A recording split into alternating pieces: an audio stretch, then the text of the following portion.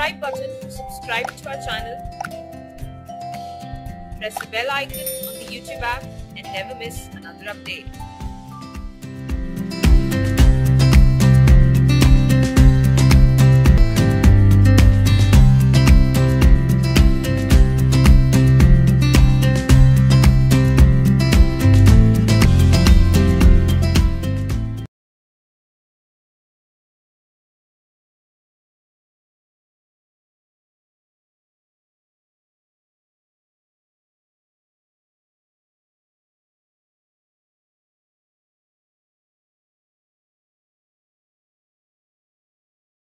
I mentioned about Joseph Lafitau, a Jesuit uh, Christian missionary who has worked among the uh, Pueblo Indians, I mean, sorry, uh, Iroquois, Iroquois society in the 17th century itself, long before uh, Morgan did.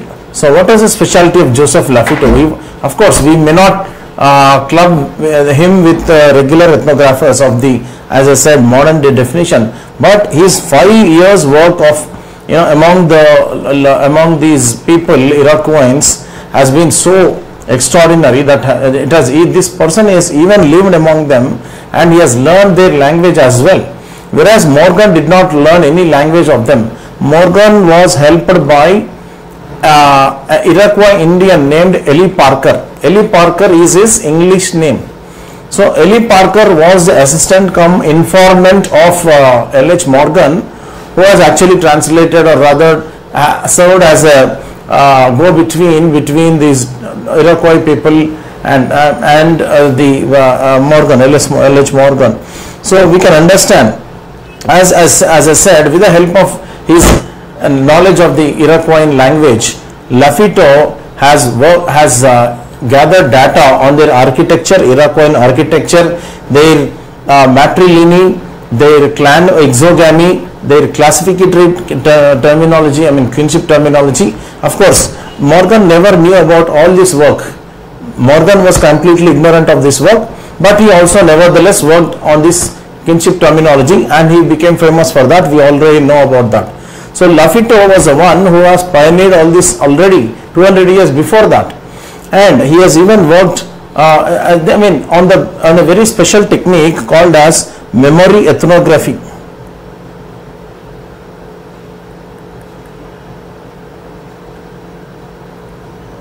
Joseph Lafitau has worked and elicited this new style of ethnography called memory ethnography. It is nothing but the eliciting of information, extraction of information from the informants based on their memories. So, which of course, what is this memory ethnography? It could be better understood in terms of later day salvage ethnography. What is salvage ethnography? Salvage ethnography is nothing but a kind of an ethnography which extracts rather tries to uh, conduct field work among those tribes whose culture cultures are fast disappearing. You must be very very clear on this. This is a very important thing. American anthropology especially uh, right from 17th century right from joseph lafitau's time has been working on this special area called salvage ethnography. Of course though joseph lafitau never used this word salvage ethnography or later thinkers also called this but in his times what he was relying on was memory ethnography because even at that point of time in 17th century Lafitau thought that the uh, people like Iroquois cultures I mean cultures of people like Iroquois Indians were fast disappearing. It is not the not the uh, people as such the populations as such but their cultures were actually fast disappearing. So it is it became all the more important for these kinds of ethnographers to document everything in detail. So Joseph Lafitau, as I said, worked among the Iroquois Indians on several aspects. As I said, among their matrilineal structure, uh, kinship terminology, which was classificatory, their architectural methods, their clan exogamy, and even their age and age and status relationship, and several of these uh, areas he has worked with the with his first hand knowledge of the Iroquois Indians. So that's the reason, my friends, I am spending a bit a great deal on Joseph Lafitau. Another unsung hero already I have talked about Franz Hamilton Cushing who has worked among the Pueblo Indians 30 years before Malinowski did. In 1880s itself he has worked among the Pueblo Indians in the southern part of United States. So we have to acknowledge these people. Without these people's uh, contribution, ethnography is a, is a, a, there is a big hollow in ethnography. So let us turn back to Lewis Morgan, Henry Morgan, uh, who has become famous for his contribution on the evolution of marriage and family, as well as uh, terminology on the kinship, related to kinship. So this person was also, I mean, pioneered certain types of ethnography, as I said, though not like a first-hand kind of a complete uh, detailed ethnography, but with the help of Ely Parker, he has pioneered ethnography to some extent, if not completely, in America. In the United States, in the in the 19th century itself, because he was basically a lawyer. He was not a complete uh, ethnographer, but he was basically a lawyer who was working for the cause of the land rights as well as other other related rights of these Iroquois Indians. So while he was working with these people, he has developed his curiosity and interest among these uh, uh, among their culture. With I mean, he was attracted to their culture. He was actually uh, he was very well. I mean, he was interested highly to know their peculiar cultures, especially like areas like kinship terminology, which he described later as highly classificatory one, wherein the children will have, I mean, the people have several common uh, kinship terms for several kinds of people. Several kinds of people of the same generation will have same name, same kinship term. So that was actually his contribution. Later also he has uh, given to the, I mean, to the field of ethnography to some extent uh, all these ideas of even for that matter questionnaire. His contribution was questionnaire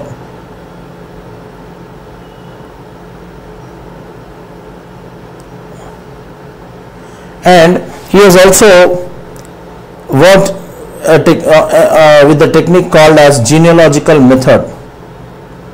This genealogical method is the one of gathering information from the uh, oldest informants about their forefathers and just like memory ethnography done by Joseph Lafitau. And of course, gene, this genealogical method was later popularized and uh, by W.H.R. Rivers while he was working among the Todas in India. So let us move forward. And of course, let me let me also uh, remind you of another one more important point that even though he has contributed to some extent to the field work, he was not described as a classic field worker like Franz Boas, who has pioneered field work in the America. Right. Uh, at the same time, his contemporaries were E.B. Tylor and of course our uh, Frazer, E.B. Tylor and Frazer, the classical evolutionists, were contemporaries of Morgan. All these three people were called as classical evolutionists, and these three, all these three people were highly criticized by Franz Boas, who was actually uh, getting critical of these people because they have not done much field work themselves. They have relied on secondary sources of data collection, and uh, that's the reason he relied uh, Franz Boas relied on first-hand collection of fieldwork, I mean fieldwork data. So because another one more interesting uh, thing in Franz Boas, uh, you know, kind of scheme of things is is is is, is uh, stress on rather his experience in museum methodology. I'm, I'm not having a diagram or photo of Franz Boas here, but when I'm mentioning Franz Boas, Franz Boas actually has got experience as a museum curator. So he has brought into the field of ethnography a kind of techniques of museum methodology where used to he, he was insisting upon collection of large data of artifacts of cultural items of these people especially of these Indian people in the United States. So these these people again he, he thought were uh, their culture were was at actually at the risk of getting completely gone. So before their cultures were uh, I mean completely lost, they they become extinct. Let us collect as much data as possible. That is the reason these these people like Franz Boas also were known with techniques called salvage ethnography, the style of ethnography called as salvage ethnography. So that's the reason Franz Boas has brought into the uh, field a stress or an emphasis on collection of large amount of data and artifacts and all the cultural uh, material whatsoever is possible. So he was he was again see again there is a very interesting thing here one as I said is a museum methodology again he was against giving grand theories he was against giving grand theories so his his style of work has been completely stressing on the practical part rather the field part so as I said he was critical of people like E.B. Tylor, Frazer and uh, Morgan, these two people especially being, being uh, criticized as armchair anthropologists because British uh, ethnography at, the, at those points of time was completely dominated by people like these who were sitting in their comfort, cushion comfort and they used to write uh, hundreds and hundreds of pages of material though collected from across the world. Of course, they might have seen certain examples by themselves, but it was not any classical kind of ethnography that was required by anthropology as a field study. So their approach or their methodology was called as armchair techniques. So E.B. Tylor, Frazer were criticized as armchair anthropologists by the likes of Franz Boas. As, as I said, yes, so once he criticized them, he has to prove them, prove everything on the field. So he has himself worked among the Kwakiutl Indians. Today they are located in Canada in the northwest coast of America and Canada border. These people are Red uh, Indians of course who also share certain similarities with the Eskimos. So Franz was worked among the Kwakiutl and even before that he has as uh, before he actually started his career as an ethnographer or or as an anthropologist he has started as a, actually a scientist he was a student of physics so as a physics student as an uh, as part of an expedition of an expedition called Baffin Island Baffin Island expedition is a one which has turned his, his entire idea, interest of uh, working as a physics expert, uh, you know, expert into an ethnographer. So because he fell in love with the culture of these simple people, these Eskimos in the Baffin Island, so this person has actually uh, got has take, decided to settle down in the United States and later become an anthropologist. So as I said early, and what what is the turning point in his decision is he was he has taken a decision that he will not work as an anthro armchair anthropologist. So he himself worked among the Kwakiutl and he has also stopped short of giving any grand theories. But however, his, his area, his ideas of collecting information about the particular cultures with respect to history so he was highly, highly recommending to his followers and students that every culture has to be documented in detail with their historical aspects intact. So as, as we, have, we just gathered from the salvage ethnography. So his ideas from the salvage ethnography, his ideas from museum methodology, all combined uh, as, as a kind of a, you know idea, theoretical viewpoint, uh, as uh, became famous as historical particularism historical particularism particularism though he himself never thought of giving any grand theory but his start his style of work has become popularized or popular as historical particularism by his uh, followers. So that is the contribution of Franz Boas my friends. Let, uh, because as I said when I am discussing Franz Boas, I have to talk about, I mean, Morgan, I have to talk about, talk about even Franz Boas also, and Tylor and Morgan uh, uh, Frazer as well. So all these people were roughly contemporaries. And Franz Boas, as I said, with all these spe uh, uh, special kinds of contributions, has become father of U US ethnography. So that's the reason we have to talk every time about Franz Boas. So in in uh, as I said earlier, we have already discussed about Franz Hamilton Cushing, and there was very another interesting story that has happened in the field of anthropology as a discipline in the emergence of the uh, field of you know field of anthropology expedition like Cambridge expedition, Cambridge University expedition to the Torres Straits. Torres Straits is located in, in uh, Australia, right between the, the, uh, the island areas of Australia. There the simple people were, you know, were the target of these people, were the uh, members of this group. W.H.R. Rivers, then Seligman, C.G. Seligman, William McDougall, C.M. Myers, but who all were led by A.C. Haddon, another great uh, British scholar, right? He, these people have uh, started going out for the first time as a group and in an interdisciplinary manner. So they have combined their uh, all ideas and they, they wanted to study the kind of psychological uh, kind of you know domain of these simple people.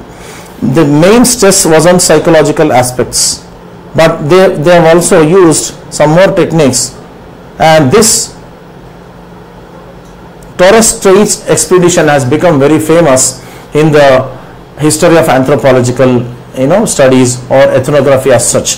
So later the people started emulating these people they started going out into newer areas and which were completely different from their cultures whether in Asia, Africa or in Oceania so these were areas were the targets. The study of simple people, primitive people were the targets of the uh, initial years of anthropology as a serious discipline. Now we've already talked about Malinowski and Malinowski worked among the true Trobriand Islanders during the First World War, World War period and what was his major contribution, his great contribution to the entire field of anthropology was participant observation.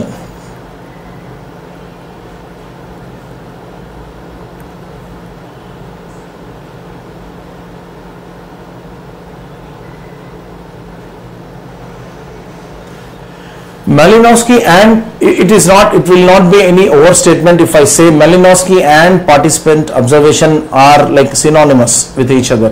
Because Malinowski is the one who has introduced or rather popularized participant observation. As earlier we have gathered France Frank Hamilton Cushing has started this but somehow he did not become popular with this. One the person who has popularized this technique of completely immersing in the society under study is nothing but uh, France in this Bronislaw Kasper Malinowski. This Polish origin person has actually settled down in the UK, wanted to become famous with his work. He wanted to bring some difference to the field of anthropology. He was also getting critical of all these people uh, who were only giving grand theories, but he was also not satisfied. Of course, he was a student of Seligman and others, and that's the reason he was also he was also influenced by their expedition like ideas. So Seligman influenced him. Seligman himself has worked among the Veddas of Sri Lanka. Right, all these people had an inf influence on uh, Malinowski. Malinowski pioneered this participant observation by working among the Trobriand Islanders in the in the Pacific. Then he has taken anthropology to great heights because, as I said, why I am saying all this because anthropology uh, I mean sorry ethnography is at the heart of anthropology and participant observation is at the heart of ethnography. So let me again repeat these statements. If you can write these kinds of statements, you'll, you'll get extraordinary marks. Ethnography is at the heart of anthropology and participant observation is at the heart of ethnography. So what makes anthropological ethnography so different from the kind of descriptions of other disciplines? The, the difference is participant observation. As I said, in the in participant observation, the candidate, uh, the person who is studying these societies, the ethnographer, completely immerses himself or herself with the society, learns the language of these people, becomes one. Sometimes these people are given the ranks of you know, certain certain times rank of a chief. they make him adopt the, adopt the person as a son or daughter of their clan. They they give the titles, they give gifts they, they kind of you know feel as if uh, a soul is departing from them when they move away from the once they complete the ethnography once they start leaving the, the tribe or the simple society the people feel as if their great friend is getting lost. So that is a kind of relationship that gets established between the ethnographer and the people under study. So this kind of attachment to the field was the contribution, great contribution of Malinowski. While Malinowski become was uh, completely immersed in fieldwork in the Australian, uh, you know, Aborigines. Uh, sorry, uh, in during in the uh, in Australia and the Pacific during the First World War. Uh, the, between the intervening period between the First World War and the Second World War, another school of thought has taken root in roots in America. That was Culture and Personality School, and one of the prime thinkers and uh, ethnographers of this time was Margaret Mead. As you can see in the picture, this lady is nothing but Margaret Mead, was working uh, in Samoan Islands, right in the South Pacific. You can see um, Mead seen along with her Samoan girl.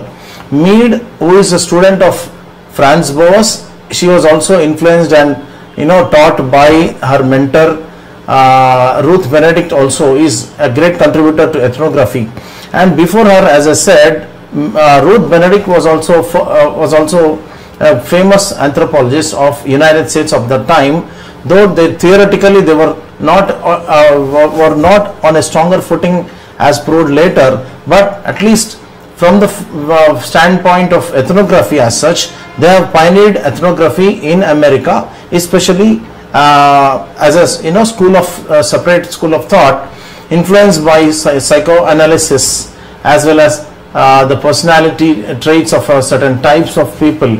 And Franz Boas as their mentor has has asked these people especially to focus on you know nature nurture relationship.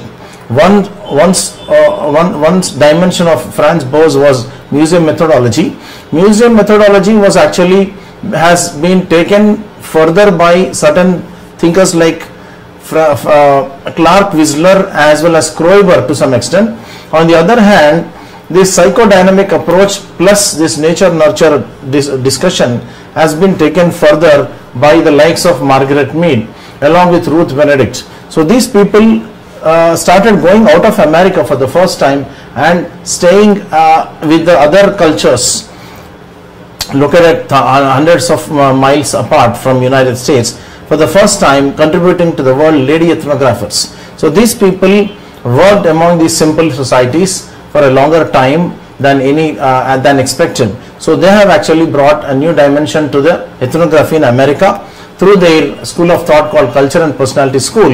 And let us see the contributions or rather the areas where these people worked. Uh, let me uh, let me talk about Ruth Benedict first. Ruth Benedict, as I said, who has been a teacher of Margaret Mead, who can see in the who can we can see in the picture. Ruth Benedict worked among the Serrano Indians, among the Cochiti Indians, who, among, who worked among the Pimas. She has also worked among the uh, what you call the Pueblo Indians or Pueblo Zuni and she has also worked among the Plains Indians of United States. So she has done her own ethnography and came up with a school of thought, I mean uh, her contribution call, scheme called culture patterns, right, patterns of culture. Again she has contributed to some uh, other uh, areas called national character studies along with Margaret Mead. So these people have uh, brought new lease of life to ethnography by working for the first time among other cultures, not only in United States but also outside. Whereas Ruth Benedict never ventured out of America, Margaret Mead has for the first time gone out of America. As I said, she has started working among the Samoans and later she worked among the Manus Manus of uh, New Guinea. She has worked among the Arapesh. She has worked among the Mundugumor and Mead also worked among the Tchambuli. So based on her field work, she has written so many books and she has also introduced some more techniques to the field work. For the, for example, along with uh, Ruth Benedict, she has contributed to the National Character Studies. In the National Character Studies, both Ruth Benedict and Margaret Mead contributed to the special style of ethnography called, later of course it was highly criticized, we are not going there, that one methodology was called content analysis.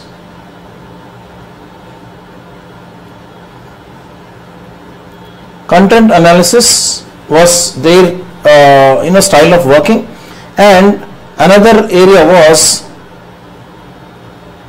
culture study at a distance.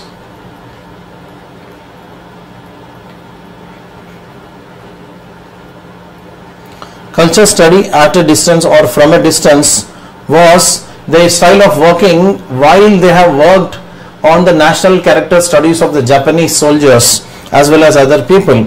And Margaret Mead was also uh, instrumental in her own self along with her husband Gregory Bateson. Along with her hu- husband Gregory Bateson in terms of visual anthropology. For the first time, she has introduced taking photographies, photographs of these people, especially among these Manus, Manus of New Guinea, as well as these uh, Balinese, where she has worked along her, with her husband called Gregory Bateson. His her husband's name was Gregory Bateson. Both have worked among these people with their techniques of photography because Mead was highly criticized of the of her kind of theorizing with a simple sam- small sample and uh, started giving uh, great grandiose descriptions.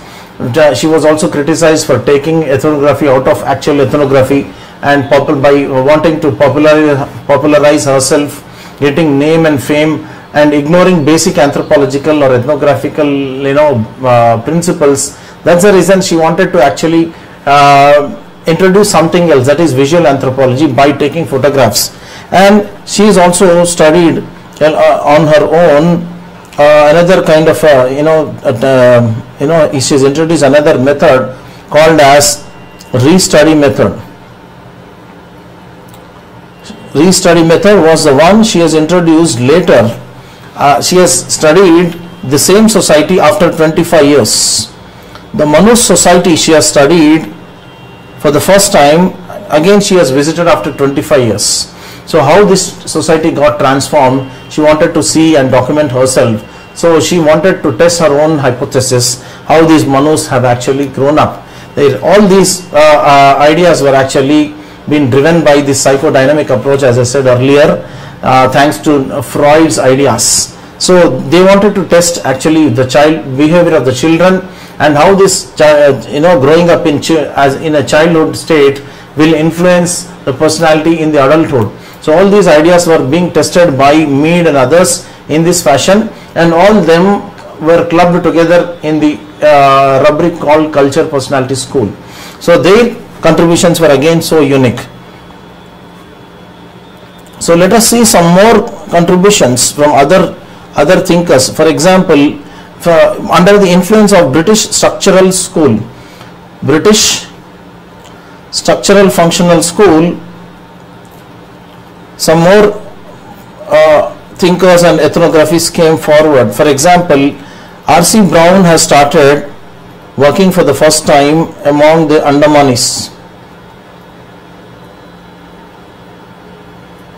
and he has he has worked at them among them in 1905 but he could not publish his ideas till 1922 so he had to wait for almost 17 years before he published his ideas and develop his theory of structural functionalism but the, the, his his uh, contribution did not go waste because it has influenced so many british anthropologists later. For example uh, people like you know Ra- people like uh, for example uh, our Evans Pritchard.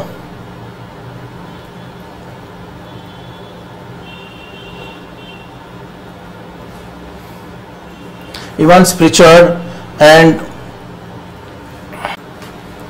Meyer Fortes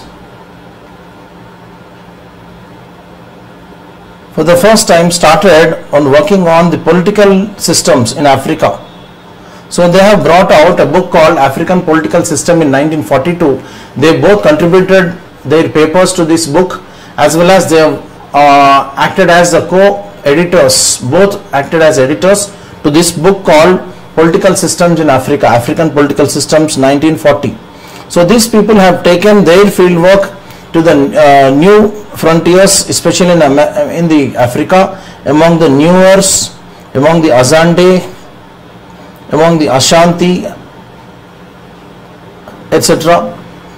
And SF Nadel worked among the Nupe of SF Nadel, another British scholar, has worked among the Nupe. Edmund Leach has worked among the Highland Burma people. Today it is known as Myanmar, Highland Burmese. Right, our Raymond Firth, a New Zealand anthropologist, has worked among the Maoris and also right he has he has contributed his own style of uh, you know scholarship eh, among the Maori society which is uh, a tribal society in Mao in New Zealand. So all these have been the great contributions uh, especially during and after the second world war from the British uh, you know side. So several several contributions have actually enriched anthropology as such. Later post world war II the, there has been a crisis, there has developed a crisis in anthropology, a kind of an identity crisis especially. So a new, new idea started taking shape, for example, as the very name suggests, new ethnography. People started thinking anew, right, new ethnography, new physical anthropology,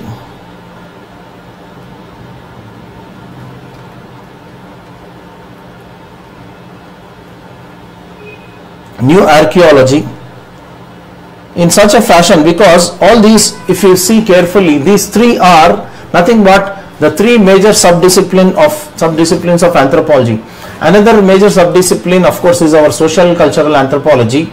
It was famous as social anthropology in britain as and as cultural anthropology in the united states but both combined together in india became famous as social cultural anthropology. Because uh, anthropology at the, at the end of second world war uh, you know as such was becoming famous with the with the you know most focus on the one discipline only mostly on the social cultural side whereas the other three were getting ignored. So they wanted to actually test their their their own uh, what you call new new kinds of ideas in the in terms of cognitive anthropology in terms of what you call cultural materialism symbolic anthropology and of course by 80s it, it has become famous as postmodernism. And whereas physical anthropology was also under some identity crisis because uh, one without the discovery of uh, you know DNA structure physical anthropology again was suffering because genetics has not gone for further much. And archaeology again has uh, been under under the image crisis. So all these new ideas started taking shape post world war II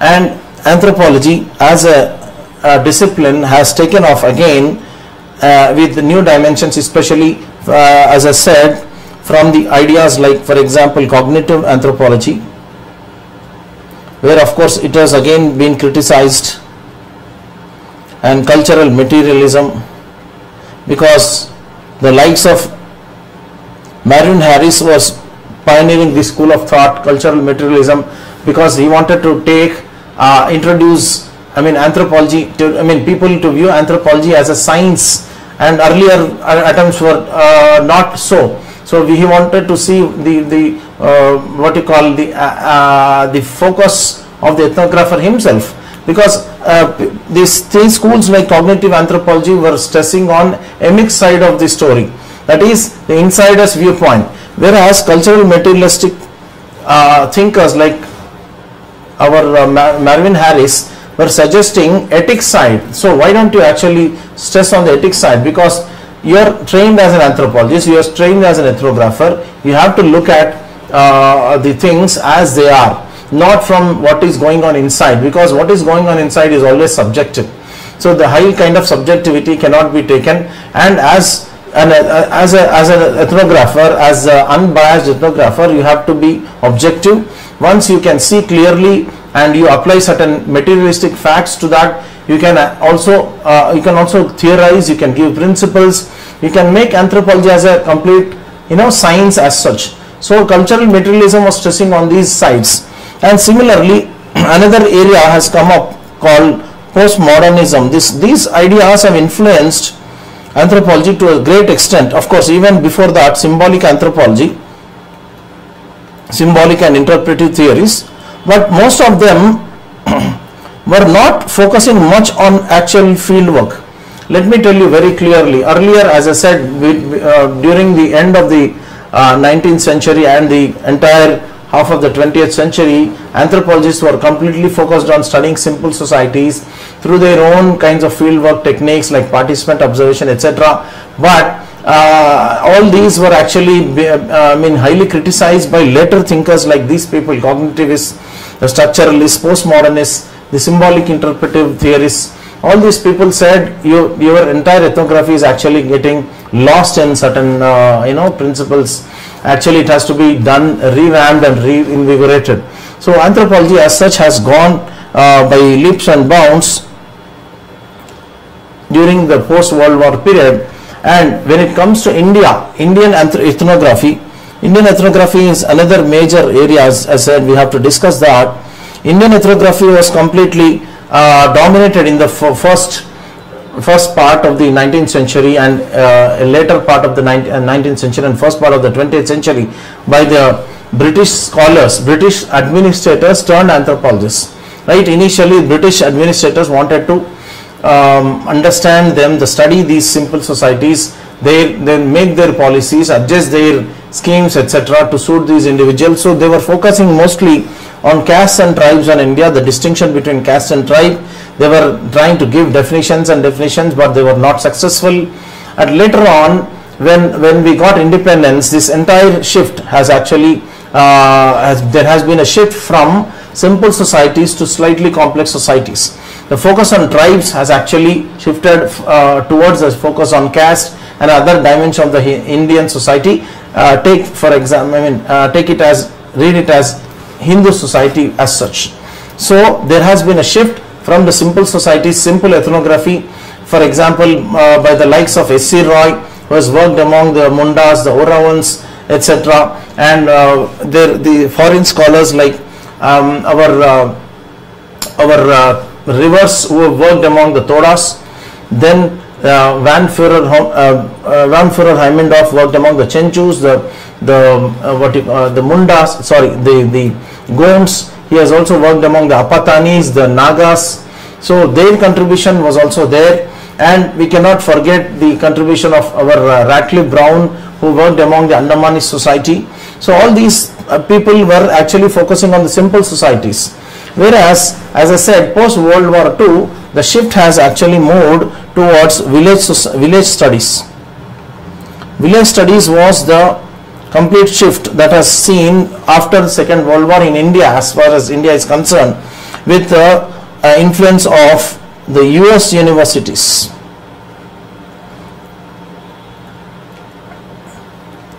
US universities were actually completely dominating the scene, uh, especially the Chicago University. There were main two schools of thought, the Chicago as well as the Cornell University.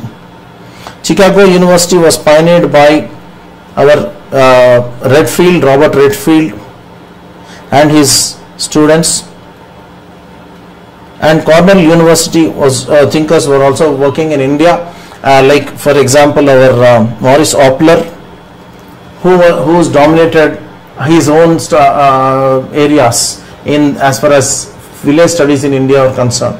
So these people have brought a new lease of life to ethnography in India and they were also getting funds from United States with some funding agencies like for example the Ford Foundation and they were working along with Indian government on the community development programs. So they wanted to test actually the effects of the government programs or funding the developmental programs in the setting of a village which which is actually classical uh, area of work field work to test not only these their own principles but also to study in detail the dimensions of the caste, the dynamics of caste, the, the religion, uh, the you know Hindu joint family system, the women's position, you know uh, agriculture and market economy in a rural labor and so many dimensions, so many areas were studied by each scholar. So M.N. Srinivas, S.C. Dube, Majumdar, were these these were the products of this uh, this era. era. M.N. Srinivas became the pioneer of uh, you know this uh, social sociology as well as social anthropology, where he has contributed the ideas of Sanskritization and Westernization, dominant caste, etc. Then Majumdar again pioneered his own in his own way. He has given some classification of the Indian school uh, school of ethno, Indian Indian way of ethnography, right uh, on the lines of T.K. Penniman and Vidyarthi also contributed and N.K. Bose and let us not forget Ananta, L.K. Ananta Krishna Iyer, another great thinker who has become an who has been an unsung hero. Ananta Krishna Iyer was a, was uh, uh, what you call a divan in in Mysore. He has studied the castes and tribes of Mysore and Cochin. But many books did not mention uh, the, this great man's contribution. He was actually uh, uh, Rai Bahadur by title. He was also Zamindar, and in his own way, he has uh, he has a self-taught anthropologist who has pioneered his, his this this kind of ethnography in southern India. But he became an unsung hero somewhat. So somehow we we are not very clear on that. India also got lady ethnographers like Irawati Karve in the 1960s, uh, Irawati Karve also contributed in her own way. She was influenced by the German universities. She has brought a new lease, uh, lease of life to the kinship studies in India, especially the western part of India. So ethnography is a great area of research and an area of interest which started as such with this curiosity, uh, this anthropological curiosity as a central theme. So what is this anthropological curiosity? To know the exotic people, the new people, new cultures, to know the others, to get, uh, in the words of, an, uh, you know, Beattie, is it's nothing but other cultures. To know the other cultures is the great, uh, what you call great enthusiasm of the anthropologists. Thank you.